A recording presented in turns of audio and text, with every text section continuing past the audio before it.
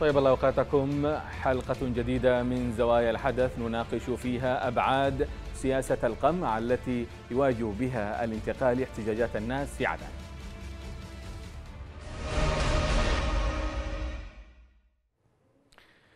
شهدت العاصمة المؤقتة عدن مواجهات مسلحة بين قوات تابعة للمجلس الانتقالي المدعوم إماراتيا ومسلحين في كريتر وقال مصدر محلي لقناة بلقيس أن المواجهات اندلعت مع اقتحام مدرعات ودوريات عسكرية تابعة للانتقال أحياء الطويلة وحسين لملاحقة نشطاء شاركوا أمس الخميس في مظاهرات منددة بتردي الخدمات والوضع الصحي. في سياق ذاته نقلت وكالة الأناضول عن مصدر أمني قوله أن جنديين من قوات الانتقال أصيبا بشكل بالغ جراء انفجار قنبلة استهدفت مركبة عسكرية. كان قد ألقاها مسلحون على متن دراجة نارية بالقرب من البنك الأهلي. على صعيد المتصل قال شهود عيان أن قوات الانتقال قصفت الأحياء بالمدرعات ما أدى إلى تضرر بعض المنازل وأن هذه الاشتباكات حالت دون جهودهم في شفط مياه السيول التي غمرت المنازل الأمر الذي فاقم من معاناة أهالي آه، آه، كريتر هناك. هنا ما الذي يجري في عدن؟ ولماذا يقمع الانتقالي مظاهرات الغضب الشعبي المطالبة بتحسين الخدمات وإنقاذ الأهالي؟ نناقش ذلك مع ضيوف الحلقة بعد متابعة هذا التقرير. ينتظر الأهالي في عدن النجدة والإغاثة من الكوارث التي لا تكاد تنقطع وبينما يأملون استشعار المسؤولين والمسيطرين على مؤسسات الدولة مسؤوليتهم الأخلاقية تجاه الناس فوجئوا بالعكس تماما. ظروف حرجة يعيشها الناس في العاصمة المؤقتة نتيجة تدهور الخدمات وما يمكن اعتباره انهيار القطاع الصحي. وفوق ذلك تأثيرات السيول التي تغمر كل شيء تقريبا في عدد من الأحياء السكنية. لم يبقى من بد أمام الناس إلا الخروج للتعبير عن غضبهم من حالة الضنك التي طالت كل جوانب الحياة تقريبا. يخرجون في مسيرات غضب يعبرون عن مطالبهم ويحدث أن تكون لغتهم في بعض العبارات حادة وربما قاسية. وضع تحولت معه عدن إلى قرية لا صوت فيها أقوى من صوت الميليشيا الخارجة عن الدولة. تهديد وتخوين ولغة تذكر بالعهد الشمولي وتعيد إلى الأذهان صور القمع الوحشية التي استخدمت في الحقب السابقة. وفي ظل الفوضى والانفلات وغياب الدولة تظهر تشكيلات عصابية تهدد الناس بالقتل والذبح بتهم مستهلكة. إزاء ذلك كله تبقى التساؤلات مفتوحة حول من يتحمل المسؤولية تجاه عدن؟ ولماذا يقمع الانتقالي مسيرات الغضب التي صارت كل خيارات المطحونين الذين لا يبدو أن أحدا يأبه لمعاناتهم إذا لمناقشة أوسع حول هذا الموضوع معنا من عدن مدرم أبو سراج قيادي في الحراك الثوري الجنوبي وأيضا معنا من عدن آه، آه، آه، الناشط عادل الشبحي أو من الرياض عفوا عادل الشبحي وهو مقرب من المجلس الانتقالي. مرحبا بكما معنا. نبدأ مع السيد مدرم. مرحبا بك معنا. حياكم الله. بداية كيف تنظر لما يجري في عدن؟ ضعنا في صورة آه، آه، آه، التطورات الأخيرة هناك. بالنسبة للأحداث الأخيرة الذي جرت فجر اليوم في كريتر الحراك الدوري ومكونات الحراك الجنوبي بأجمعها إضافة إلى منظمة المجتمع المدني والأهلي بما فيهم مجموعة كلنا لأجلك يا عدن ندين أي عمل يستخدم فيه العنف. في عدن من كل الأطراف. وندين أيضا وندين اقتحام الأحياء السكنية وإغلاق السكينة العامة في أحياء وشوارع كريتر في منتصف الليل. ومما يروع الأطفال والنساء والشيوخ خاصة ونحن في ذروة الصيف وانقطاع الكهرباء ومن عوائد أبناء عدن أو سكان بيوت عدن وتحديدا كريتر لأنها تقع على فوهة بركان أن يفتحون الأبواب ويفتحون الشبابيك أو الطرق كما نحن نسميها ومنهم من ينامون فوق السقوف ومنهم في الأحواش وذاك الوقت تم الهجوم على تلك المنطقة وروع الأهالي. ندين حادثة الاعتداء على الطقم. فهو نعم. عمل آدم. لا, نعم. لا خلاف فيه. ولكن الرد الفعل كان أقوى مما يجب. مما خلف جرحى مما خلف إصابة طفلتين وخلفت إصابة شخصين أحدهما في حالة خطرة إصابته في الرقبة بالرصاص وهو المواطن العدني أنس مانا. تلك الأسلوب لا ينم عن استتباب الأمن بعدن بل ذلك الأسلوب هو يؤجج الأحداث في عدن ويزيد الطغايم في نفوس الناس خاصة وإن الأوضاع الأخيرة التي شهدتها عدن لا تحتمل.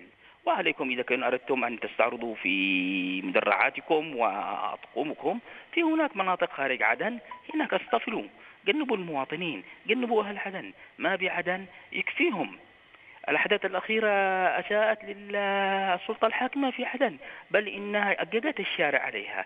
نحن نطالبهم بعدم استخدام تلك العنف ولا يكون الاستخدام الأمني والاستخدام العسكري هو ملاذهم الأول والأخير. هناك عليهم أن يتفهمون مطالب عدن عليهم أن ينظروا لأوضاع عدن عليهم أن يجلسوا مع أبناء عدن عليهم أن يدركون ويستفسرون لماذا كل تلك الثورة لماذا كل ذلك التدمر الذي يجري بعدن إنهم نعم. بهذه الطريقة يخربون يهدمون المعبد على رؤوسهم هم نعم. جزء من أجزاء هم آه، جزء لا يتجزأ من أبناء الجنوب ولكن على أبناء الجنوب أن يعترفوا بإخوانهم من أبناء الجنوب. لن يقوم لن يقوم جنوب آه، لمنطقة معينة. الجنوب إن لم يضم أبناء الجنوب من المهرة إلى باب المندب فذلك لن يكون أي جنوب بل كل الممارسات التي تمحم لتخريب الجنوب وللقضاء على الجنوب. ولوقت أهداف الذي ضحى من أجلها الحراك الجنوبي منذ انطلاقه في 7 7 2007 نعم ننقل هذه الإدانة أو تحميل المسؤولية للمجلس الانتقالي وإدارته الذاتية هناك في عدن إلى السيد عادل الشبحي معنا من الرياض وهو مقرب من المجلس الانتقالي. مرحبا بك معنا. حياكم الله. نعم إذا كنت سمعت رد سيد مدرم حول تحميله المجلس الانتقالي وإدارته الذاتية لما يجري من أحداث الآن ومن تصعيد ضد المواطنين في عدن كيف ترى ذلك؟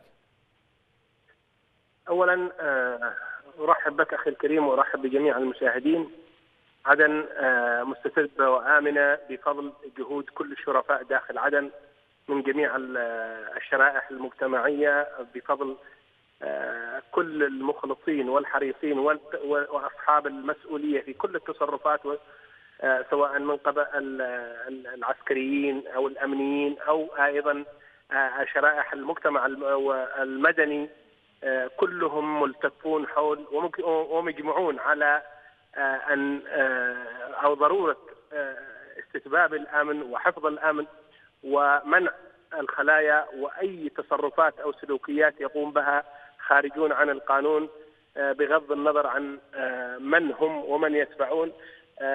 عدن يطالب كل ساكني عدن سواء من أبناء عدن أو الذين يقيمون في عدن أو الذين يعملون في عدن لهم حق في أن يكون لديهم قوات تحميهم من من من خروج أو من الخارجين عن القانون ومن الذين يسيئون ويخرجون آخر الليل.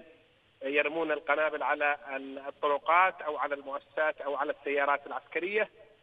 لا يوجد شيء من مما ذكره ضيفك من عدن بهذه الفجاجة أو ما يتحدث عنه. أنا أتفق في أن الجنوب لكل أبنائه من المهرة إلى باب المندب كل من ينتسب لهذه الأرض الجنوبية والهوية الجنوبية له حق أن يعيش ويعبر عن رأيه ويساهم في سواء القضايا السياسية وأيضا الإدارة والتنمية وكل من يقيم في الجنوب حتى وإن كان من خارج لكن سيد عادل سيد عادل هنا نحن نتحدث على أن المجلس الانتقالي يعني لجأ إلى قمع الاحتجاجات وأيضا استخدم القوى المفرطة حتى إنه قصف الأحياء بالمدرعات المنازل هناك في كريتر.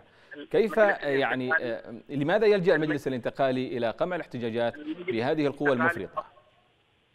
المجلس الانتقالي يتعرض هو معه أبناء عدن من كافة شرائح المجتمع إلى غزو ومحاولة اجتياح وقصف بالمدرعات والأسلحة الثقيلة والتي تساندونها أنتم جميعا وفي مقدمتها قناة بلقيس إذا كنتم ترون أن القنابل والقذائف والمدفعيات لا تؤثر ولا تشكل خطرا على أحد وتريدون ضبط الأمن وتعبرون عن أن ضبط الأمن هو المشكلة فهذه المشكلة عندكم أنتم وعند كل من يتبنى هذا التوجه السياسي.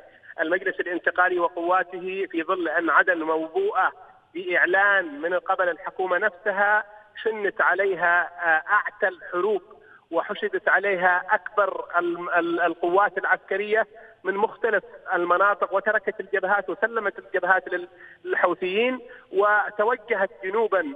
صبروا على الحوثيين ست سنوات ولم يصبروا على المجلس الانتقالي شهرا واحدا. المجلس الانتقالي يتعرض أيضا لعمليات اغتيال لنشطاء مدنيين. حتى من خارج المجلس الانتقالي. اعلاميين سيد عادل سيد عادل نحن نحن نحن نؤكد على أن الانتقالي ما زال مصر على مجابهة الاحتجاجات ب يعني مجابهة الاحتجاجات والمطالب العادلة بالتخوين واتهام المتظاهرين بالإرهاب وحتى يا أخي. لماذا يعني؟ كريم لا يوجد متظاهر الساعة الثالثة فجرا. أي متظاهر الساعة الثالثة فجرا يرمي قنبلة على سيارة تدفع الأمن. هل هذا متظاهر؟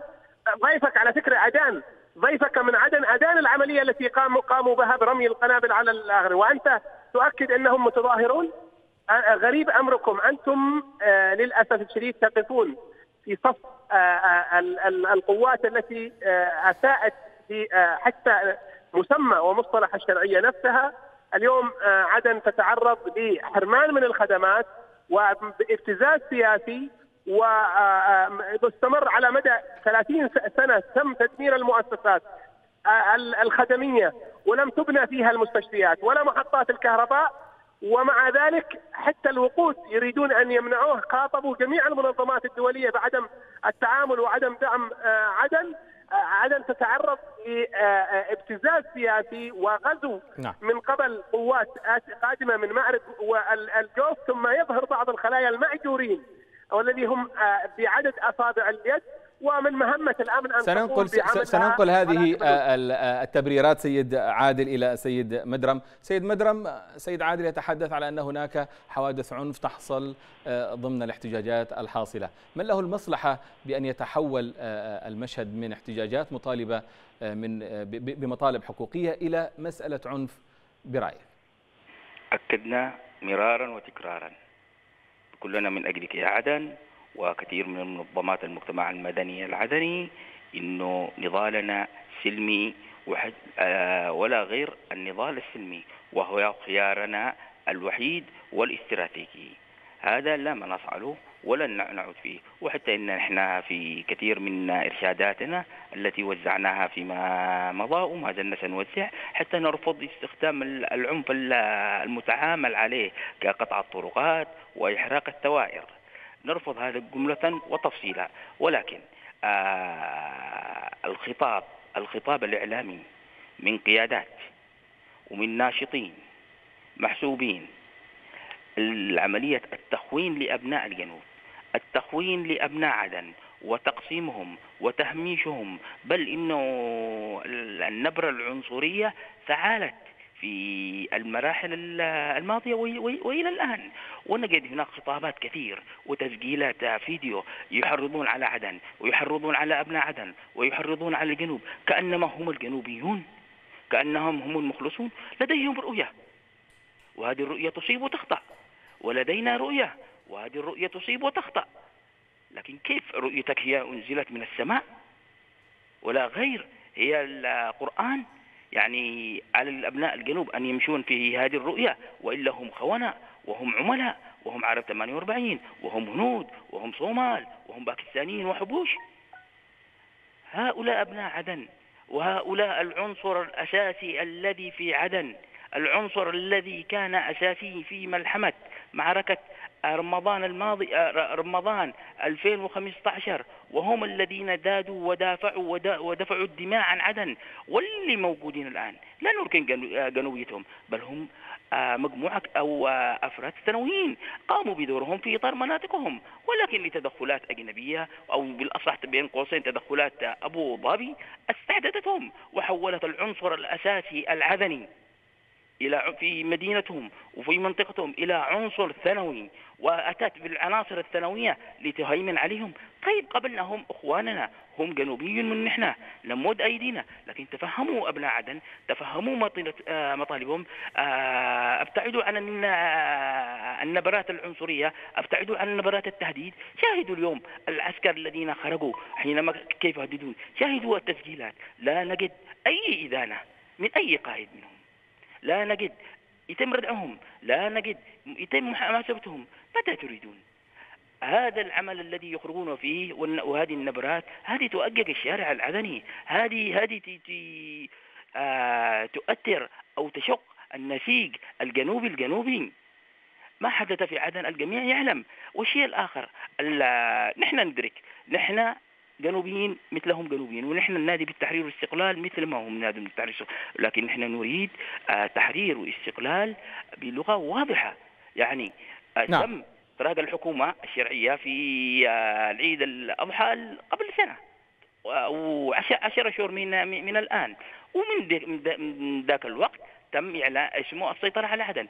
وحينما أتت إعلان الإدارة الذاتية متى؟ حينما خرجوا أبناء عدن بعد السيول اللي قبل رمضان الذي اجتاحت عدن. وتم تخوين عدن من سلطات عليا. السلطات آه، من رجل من الرجل الأول أو الثاني أو الثالث في المجلس. يعني خاطب عدن بطريقة دنيئه دون اذا اذا عدن تعاني من من من أزمة في آه، إدارة الأزمات التي تعصف بها كما آه، أشرت سيد مدرم. نعود لسيد عادل. سيد عادل كيف تفسر تردي الخدمات الأساسية في ظل سيطرة الانتقالي ومنذ إعلانه الإدارة الذاتية؟ اولا أنا لا أعتقد أن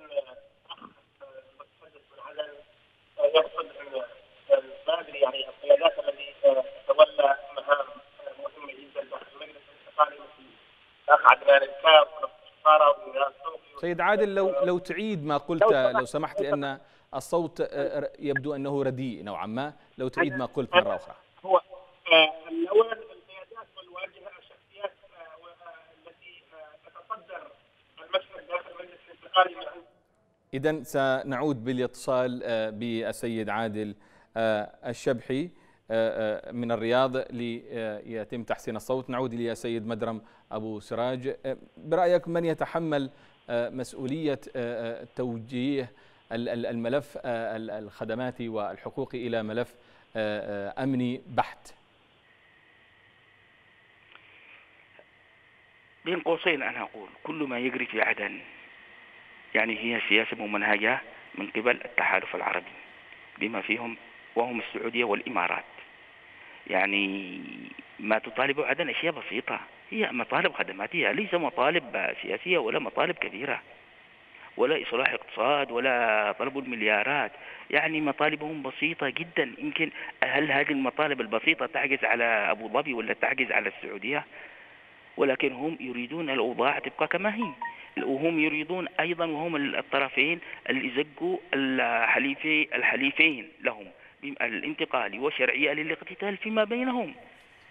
لكي يضعفوا الطرفين لكي يسهل عليهم السيطرة عليهم لكي يستطيعون أن يحققون تنازلات فيما بينهم. كل طرف بيقدم تنازلات أكثر لكي يستطيع أن يبقى على الساحة ويهيمن على القرار الأمني والعسكري والسياسي بالجنوب يعني كأداء أو أدوات. هؤلاء يعني هي سياسة ممنهجة من قبل التحالف العربي ولا يخفى اذا اذا سياسات ممنهجة من التحالف العربي سيد مدرم. تفضل بالمقابع نعود للسيد عادل. سيد عادل كنت قد سألت آه، كيف آه، يمكن تفسير تردي الخدمات في ظل سيطرة آه، الانتقالي ومنذ إعلانه الإدارة الذاتية؟ اولا دعني أكمل من من من حيث توقفت. نعم. أنا أعتقد إن تفضل. نائب رئيس المجلس الانتقالي ورئيس لجنة الإغاثة ونواب الجمعية الوطنية آه، جميعا هؤلاء من أبناء عدن ومن مواليد آه، عدن وكثير من آه، الذين يتبوؤون مهام كثيرة في سواء داخل الإدارة الذاتية أو في هيئات المجلس الانتقالي هم من أبناء ومواليد عدن. ونشطاء التواصل الاجتماعي ومن يديرون وقيادات المجلس الانتقالي في في كل مديريات عدن هم من أبناء عدن. أنا أتمنى من الذي ذكرهم الأخ مدرم أن يكون لهم موقف واضح من القوات التي اتخذت قرار الحرب على محاولة لاجتياح عدن في ظل إن عدن موبوءة بكورونا و محرومة من الخدمات. وأتمنى أن نسمع من من مدرم موقف وأنا أثق أنه سيقول موقف صريح فيما يخص الجهة التي اتخذت قرار الحرب في أبين وحشدت القوات وأتت بها من مأرب والجوف والبيضاء. لمحاولة اجتياح عدن في مثل هذه الظروف، أنا أنتظر منه موقفا وأتوقع أنه سيتحدث بشكل صريح. لكن نحن سيد سيد عادل نحن خصصنا الحلقة اليوم لايضاح لإيضاح ما هو الموقف تجاه الخدمات والخدمات الإنسانية والجانب الحقوقي للمواطنين في عدن أخي الكريم. أخي الكريم لا لا تحاول أن تضغي شيء، هو لا يستغرق أكثر من 20 ثانية. فقط في إيضاح هذا هذا الموقف وهذا ننقل التساؤل له ننقل, ننقل التساؤل له سيد عادل. سيد مدرم سيد مدرم هنا سيد نعم. سيد مدرم هنا سيد عادل يسألك عن هو يربط مسألة معركة أبين بما يجري الآن في عدن ومن اتخذ معركة عدن الآن. كيف ترد على ذلك؟ أنا قبل حينما انقطع الخط أشرت على ذلك. حينما انقطع منه هو لم يسمعنا. أنا أتحدث أن الحرب الأخيرة الجارية هي بإيعاز من أطراف التحالف العربي بما فيهم العربية والسعودية لإضعاف الطرفين المتحالفين معهم ليتم الاقتتال في فيما بينهم ليستطيع أن يهيمن على تنازلات أكثر من, من كلا الطرفين. وأنا أؤكد على الأخ عادل الشبعي نحن جنوبيون ولا شك في جنوبيتنا. نحن ونحن نرفض كل أي تدخل أجنبي أو أي تدخل يمني بما فيهم الحلفاء الشرعية وحلفاء الانتقالي بما فيهم الأخوان الذين أتوا من مارب بما فيهم جماعة طارق عفاش الذين أتون. بل هي معركة معركة جنوبية تدار في أرض جنوبي وتستخدم فيها أفراد جنوبيين بدعم وتمويل من طرفين. الطرف الشمالي هو وقود في جبهة شقرة والطرف أيضا شمالي طارق عفاش هو وقود في جبهة الشيخ سالم وتكون الأرض الجنوبية وأبناء الجنوبيين هم مجتبحون الجنوب لن يكون جنوبا إلا بجمع كل أطرافه كل أبنائه. دون هيمنة. وأشير على الأخ الشبحي حينما تحدث أنه قيادات في الانتقالي راجع حساباتك وراجع واذكر الأفراد الذي ذكرتهم أنهم ينتمون بعدن. يا سيدي يا أخي حتى حتى رئيس مجلس الانتقالي هنا في عدن أستكثروا أن يكون من ابن عدن. أتوا من منطقة معينة. يعني أنظرون إلى النقط. الآن الآن النقط يعني نقط باب كريتر والعقبة ونقطة الحمراء. ماذا تعمل؟ الاستفزازات. نحن ضد استخدام السياكل ولكن أن يتم مصادرة سياكل الشباب العدني وبطريقة امتهان لهم يتم حرقهم أمام عيونهم. صادروا السياكل بطريقة في إطار قانوني في إطار دستوري في إطار منظم. هذا الذي نحن نطالب به أما أنه تكون عن جهيات نقطة عسكري في نقطة يتبلطج على عباد الله لا. نعم. نحن نرفض هذا الأسلوب وهذه ننقل الطريقة. ننقل هذا ننقل هذه النقطة منك سيد مدرم إلى سيد عادل الشبحي. سيد عادل في نقطة أخيرة ورد أخير لديك. كيف ترد على لماذا لا أبناء عدن لا, لا يتسلمون الجانب الأمني و بأنفسهم ويتم استنزاف يعني يتم فرزهم وإبعادهم عن هذه عن عن عن حماية أنفسهم والجانب سواء كانت في الجانب الأمني أو الجانب الخدماتي بالنسبة لهم، لماذا لا يتم يعني تنحيتهم من جانب الانتقالي؟ أنا طلبت 20 ثانية الجواب في 20 ثانية. من الأخ ضيفك من عدن وأنت تركت له المجال. والوقت كان يفترض أن خذ وقتك خذ وقتك سيد عادل. طيب اولا رئيس المجلس الانتقالي من أبناء عدن وهو من أعرق الأسر داخل عدن ويعرف الجميع من هم من هو هذه الأسرة وموضوع النقاط الأمنية. يعرف الأخ هؤلاء كيف حموا عدن في 2015 و2000 من الحوثي وثم 2016 وهم كانوا جزء من الذين تحرروا عدن ثم قاتلوا القاعدة وداعش حينما كان لا يجرؤ أحد الخروج إلى الشارع ولا وكانت السياكل ومظاهر القاعدة في كل حارة أراد توجيهها جهات سياسية وهؤلاء من قدموا الضحايا من أجل تحرير عدن وليس منا من أحد عدن فهي عاصمتنا ومدينتنا الحبيبة. وهذا الأمر ليس مجال للتجاذبات أو الحديث الفارغ والاستغلال والاستخدام. بالنسبة للخدمات يعرف الجميع. إنه منذ العام 90 لم تبني السلطة لم تبني السلطة مستشفى واحد فقط في عدن باستثناء المستشفى الذي بنته السعودية ولم تسمح الجهات المسؤولة باستمرار العمل فيه لأغراض وحقد على عدن.